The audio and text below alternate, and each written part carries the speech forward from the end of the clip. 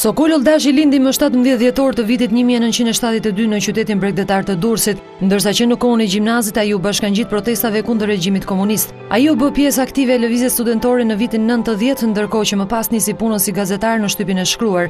Vitet pasuese Sokol Olldashi nisi angazhimin e tij politik pranë Partisë Demokratike, ku fillimisht u zgjodh kryetar i Forumit Rinor të kësaj force politike. Në zgjedhjet vendore të vitit dy mijë e një, Sokol Olldashi garoi në siglën e Partisë Demokratike dhe bëhet pjesë e Kuvendit të Shqipërisë si deputet i Durrësit. Pas katër vitesh Olldashi arrin të rizgjidhet sërish deputet në qarkun e Durrësit, teksa fitorja e tij ndaj ish-ministrit të asaj kohe të Bujqësisë Agron Duka shënoi një nga rezultatet surprizë të këtyre zgjedhjeve. Me ardhjen e Partisë Demokratike në pushtet, Sokol Olldashi emërohet ministër i Brendshëm, post të cilin e mban deri në vitin 2007, për ta lënë për shkak të kandidimit për kryetar të Bashkisë së Tiranës, garë për të cilën ai e humbi përballë Edi Ramës.